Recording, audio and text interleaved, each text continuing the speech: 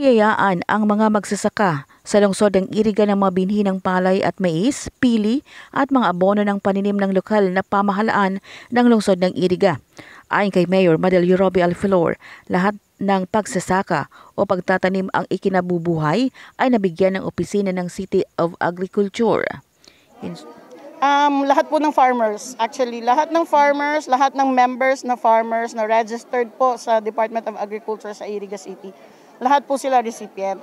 Um, recipient sila ng ah, corn, rice, abaka, pili, vegetable seeds, and fertilizers. Tapos mga, yung mga nasalantaan ng bagyo, so at least ah, meron silang mga insurance, crop insurance na nakuha.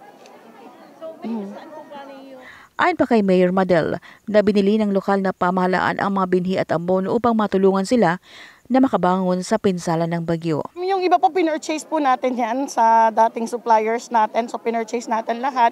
Kasi as of now, um, if you will see the, the prices of the vegetables, they are far more very expensive compared to March, April, May.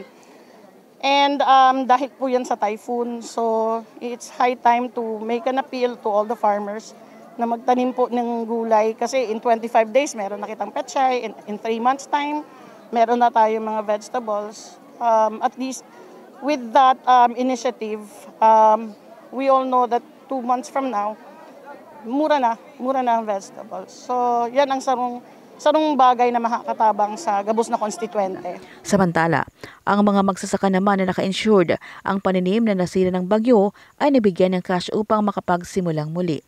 Um, halos gabos man po ni mga farmers, naka-insured man po ang crops ninda. So, pinaprocess lang yan. So, ngunyan, 54 so recipient. Tapos, itong iba, uh, this last week of November naman po makaka-receive. And then, by December, makaka-receive din halos lahat. So, halos lahat na na mga farmers, um, in-encourage na namin sila na mag-insured ng crops nila. Kasi, pag mga typhoon season, they really need that kung paano sila magsimula. At least meron silang something to start with.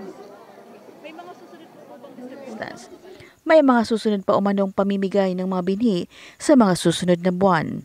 Opo, ah, meron pa po. Um, naghihintay lang tayo ng advice from the national government and also ah, may initiative from the Department of Agriculture sa Iriga. So, i-combine namin and then probably uh, ma- ma- ma-distribute. We really have to. Kaipuhan na mag-distribute po talaga sa gabos ng mga farmers right now.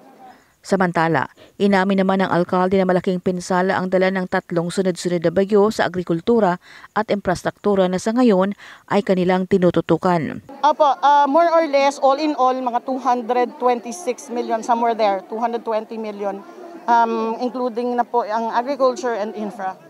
Nagpasalamat naman ang alkalde sa mga tumulong gaya nila Secretary Anyo, ASEC Jonathan Malaya ng DILG, Vice President Len Robredo at iba pang nagpaabot ng tulong sa lungsod.